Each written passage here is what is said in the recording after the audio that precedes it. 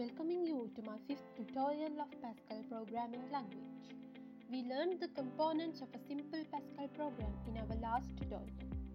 Today we are going to code our first Pascal program. Before programming, we need to have a programming environment in our PC. So let's see how to set up the environment for Pascal.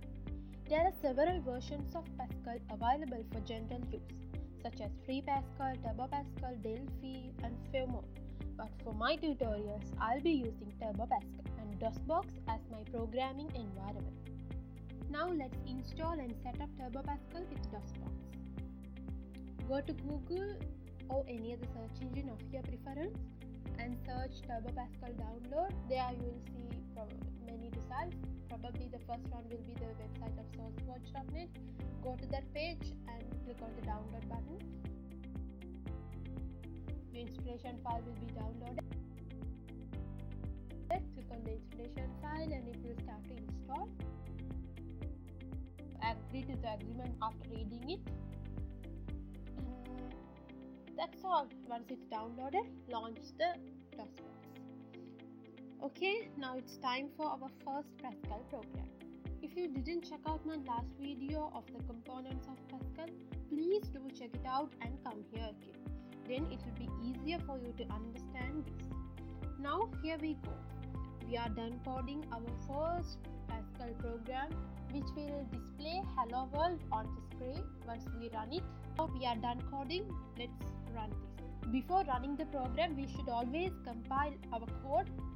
Click on compile. Once it's done, go to run and run the program. But it's not running. It has to work, but it's not working. There's not any faults either. Let me do a small change in my code. Um, let's see whether it's working now. Yeah, it's working now.